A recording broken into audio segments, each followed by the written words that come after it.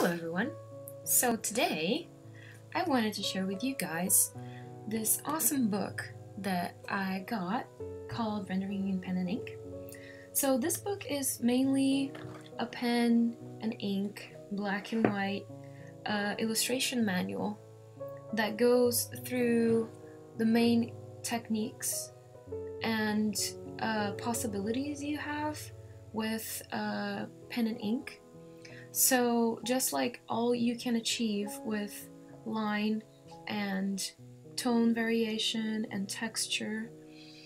And it's really cool because the chapters are kind of a step-by-step introduction from zero to mastery in pen and ink.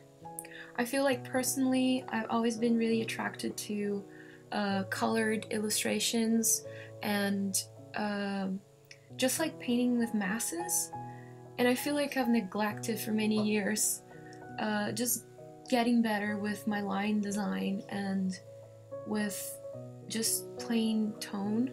I feel like if you are good doing bare bones black and white illustration and just improving your draftsmanship and and the handling that you have over that it opens so much so many possibilities with your drawings so my idea is to share um, little snippets of the chapters, like the main information within the chapters, and uh, show you guys every exercise in the book, so we can have like all the information you need to improve if you like to explore that kind of technique.